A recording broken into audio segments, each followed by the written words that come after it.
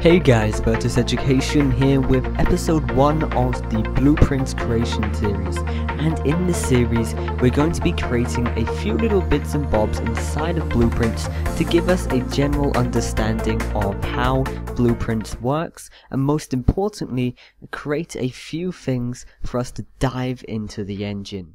And in today's episode, we're going to be showing you how to create a sliding door inside of Blueprints with a few different components.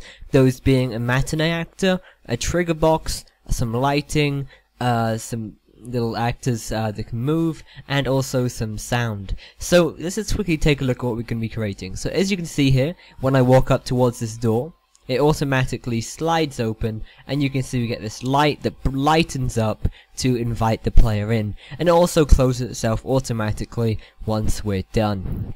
So, let's just go ahead and eject out of that and take a look at what we have here. So, I'm just going to open up the level blueprints by pressing blueprints up here, then open blueprints, and you can see it's actually really, really simple. Whenever someone steps on the trigger box, it goes ahead and press play. Then after a small duration of time, that being 3 seconds using a delay node, it then goes on to setting it to reverse to bring it back into the original state. And all of this is set to work with a matinee actor.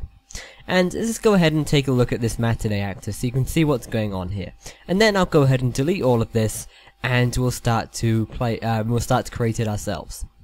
So we've got a few different tracks here. We've got door 1, 2, lighting, and sound. So if I go ahead and press play, you can see the doors open, and uh, if I press close, if I press reverse, it just goes ahead and closes those.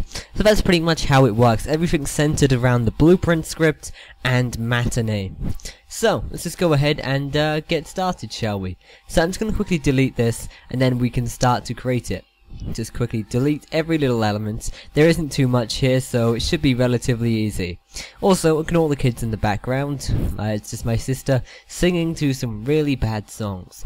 So, let's go ahead and delete the doors as well. So, first and foremost, before we can create sliding doors, we're going to need some doors. So I'm going to go ahead and head over to the content browser. I'm going to go to props, and I'm going to go ahead and grab the glass window here as this works just as well for a door. So once we've done that, I'm going to close the content browser, and we want these to be a, we want two of these, and we want them to be about halfway.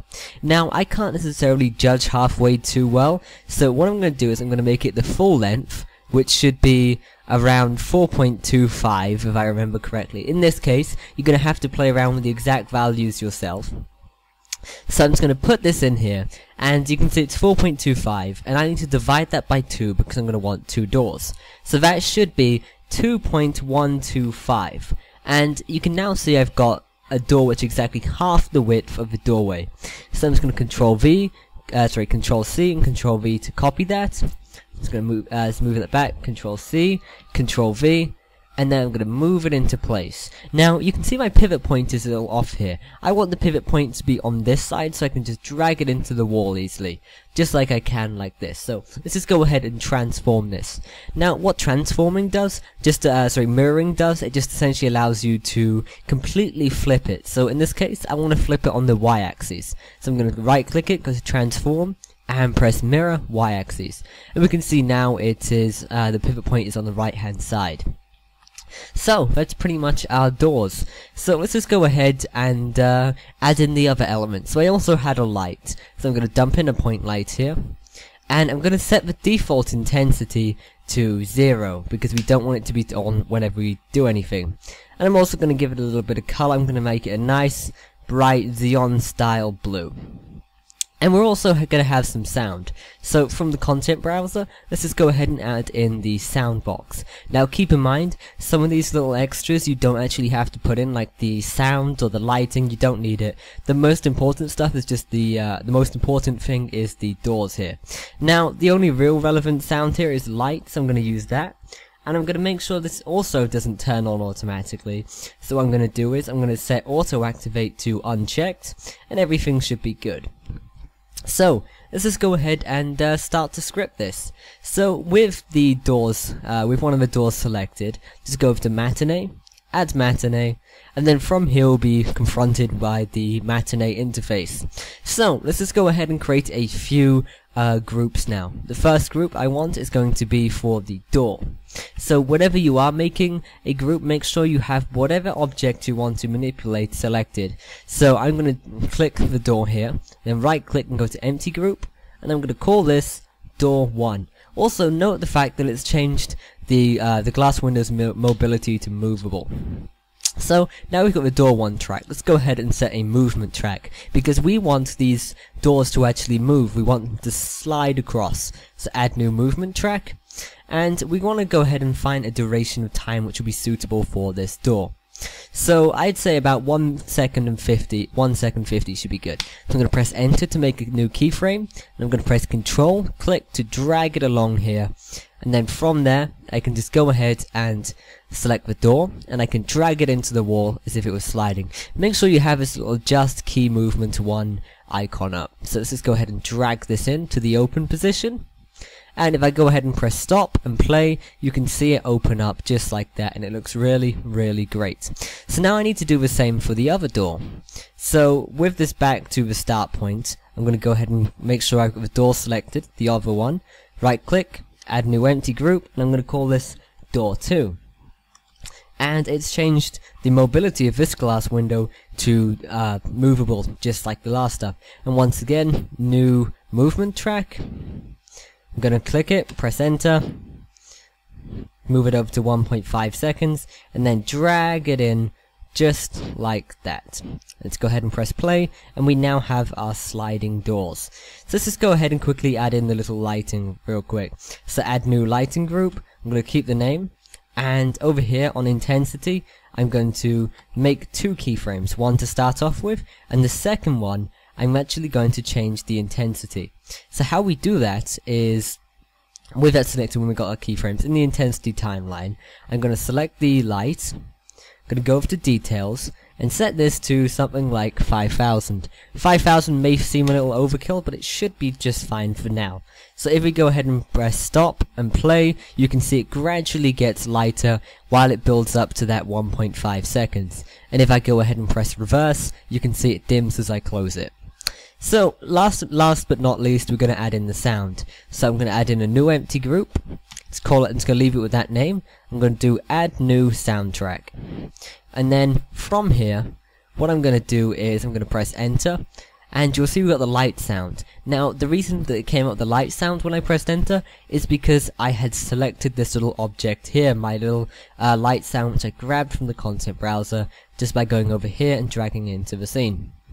So, I'm not sure if you can hear it, but when I go ahead and press play now, you should hear the light sound, uh, which sounds a bit like a door opening and closing. That's pretty much everything for the matinee, uh, all but one thing. So, you can see the end time here is actually set to 5 seconds. We need to make sure that we set this down to the exact end point of this, and that's going to be 1.5 seconds. The reason for that is because we're going to be using some delay stuff. If there's extra time, uh, extra time, it's going to just add it on, and it's going to get all confusing. So once we've done that, let's just go ahead and close that, and it's actually now time to start scripting it. So, let's just go ahead and bring up blueprints. So, how are we gonna do this? I'm just gonna quickly delete all of this stuff that I had from before. Now, whenever someone walks up to the door, we need to fire off an event. So, to fire off that event, we're going to be using a trigger. To get a trigger, just go over to the basic tab over here, under placement, and then just go to box trigger and drag that in. Now I'm going to make this nice and big because we want people to be able to automatically open that door from a nice reasonable distance away. Something like this should be perfectly fine. And now from here, let's just go over to op uh, open up our blueprints again. So what we want to do is add some kind of collision event. So whenever someone collides with the box, you know, as they walk into it, it fires off an event. So with the box trigger selected, I'm going to right click, press add event for trigger box 1, go to collision, and then I'm going to go to begin overlap. And from here, we can now hook up whatever event we want to. So in this case, we wanted it to make the little matinee uh, matinee sequence play. So let's just go ahead and go to our blueprints, right click with the matinee selected, and type in play.